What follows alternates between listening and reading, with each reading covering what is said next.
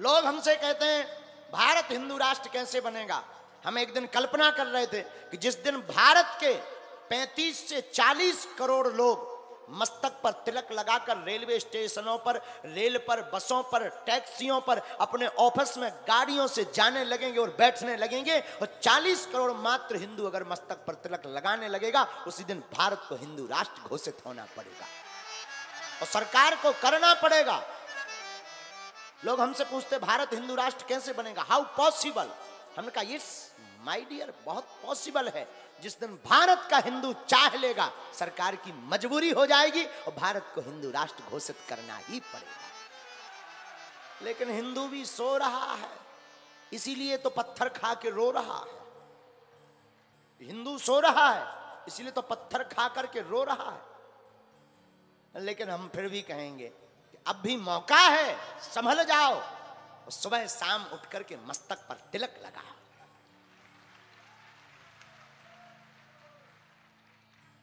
भक्ति मता, माता मीराबाई। मीराबाई के जीवन में भक्ति का बीज उनके दादा राव दूधा जी के द्वारा भी आरोपित किया गया। और आप भी अपने बच्चों को संस्कार में बनाना चाहते हो, मेरे पागलो। अगर तुम भी चाहते हो तुम्हारी बेटी और तुम्हारा बच्चा तुम्हारा नाम रोशन करे, कोई तुम्हारे ऊपर टिप्पणी ना करे कमेंट्स ना करे तो मेरी प्रार्थना है, अपने बेटी को और अपने बेटे को रामचरित मानस ज़रूर पढ़वाना, ताकि बेटी किसी पराये के घर जाए तो वह उस घर के लोग माता पिता को गाली ना देवे कि कुछ नहीं सिखाया। कुछ पढ़ाना या ना पढ़ाना, संस्कार ज़रूर दे देना, बिना पढ़े ही संस्कार पढ़ने मात्र से काम हो जाएगा लेकिन इसका मतलब ये नहीं कि विद्या अध्ययन ना करवाना, खूब करवाना। लेकिन बिटिया को और बेटा को रामायण पढ़ाना, सुबह नहीं तो शाम। प्रत्येक माता पिता का यह कर्तव्य है। प्रत्येक माता पिता का पाँच पाँच दोहा पढ़वाओ, रामचरित मानस के गीत गुनवाओ, हनुमान चालीसा का पाठ करवाओ। जिस दिन ऐसा प्रारंभ हो जाएगा ना, उसी दिन भैया तुम्हारा बालक सभ्य हो जाएगा। बच्चे को बहुत गुस्सा आती हो। बहुत क्रोधी हो, हटी हो, कोई दिक्कत नहीं। आप रोज पाँच पाठ, पाँच दोहा रामचरित मानस के करवाओ बच्चे से। और सोमवार के दिन शंकर जी को अभिषेक करवाना प्रारंभ कर दो, आपका बालक विदिन एक साल में क्रोध पर कंट्रोल कर लेगा। प्रत्यक्ष प्रभाव। रामायण के बहुत प्रभाव है, महाराज हमने भी देखे। रामचरित मानस एक ऐसा ग्रंथ है जिसमें पूरी दुनिया के उत्तर भरे पड़े। संसार का ऐसा कोई प्रश्न नहीं जिसका उत्तर रामचरित मानस में ना हो।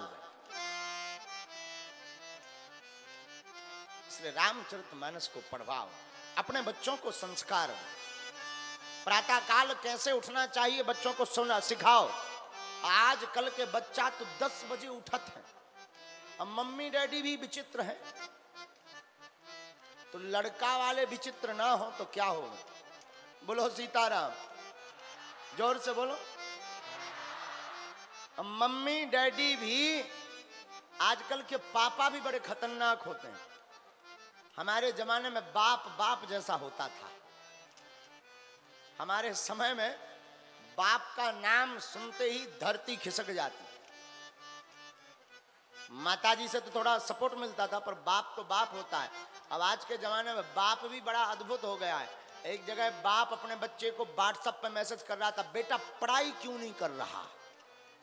बेटा कह रहा था, पापा, पढ़ रहा हूँ। बाप ने कहा, झूठ मत बोल, वरना एक मुक्का मारूँगा। बाप ने एक मुक्का लिया व्हाट्सएप पे भेज दिया। बेटा ने भी रोता हुआ स्टीकर भेज दिया बताओ, मुक्का भी घल गया? रो भी लिया और पिटा भी नहीं कोई। हमारे जमाने में एक चांटा तीन दिन तक इस एक्सरा मशीन से उलझी रहती थी। लोग पूछते थे ये क्या है? कुछ नहीं निशान है। किसके बाप के? हाँ, और बाप को भी तभी लगता था कि हम बाप हैं जब तक चार बच्चों के बीच में अपने बेटा को पीट ना ले। नहीं तो बाप को भी नहीं लगता था कि हम बाप हैं। हमारे जमाने में पिताजी भी जहाँ खेल रहे हो, जहाँ बीस लोग बैठे होते, दे तड़ा, दस बजे से घर नहीं आया। और चार बच्चे देख रहे सो बेबी नीचे सिर डाले। जब बाद में मिलते थे, बोले, यार, तुम्हारे पापा तो बहुत खतरनाक हैं। तो उनके भी पापा खतरनाक ही होते थे।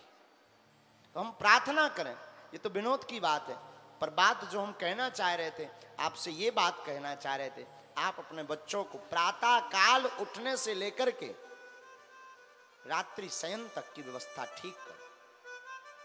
प्रातः काल पाँच छह बजे के पहले तक उठा दो बच्चों। अब दस बजे खुद माता पिता उठते हैं बच्चे क्या उठे? पाँच छह बजे सो करके उठवाओ। इसके बाद में दो पाँच मिनट कीर्तन करवाओ प्रातः काल फिर इसके बाद में भगवान नाम जप करवाओ।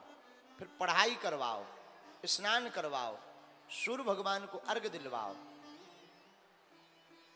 रामचरित मानस का पाठ करवाओ, बच्चों को स्कूल जाने दो, स्कूल से आवे, जय सिया राम, जय श्री कृष्णा, हेलो हाय नहीं, अब आजकल आगे को लोगों जो मॉडर्न जमानो, हेलो दूर ही से ऐसे हाथ हलाओ के लौट के मत आना,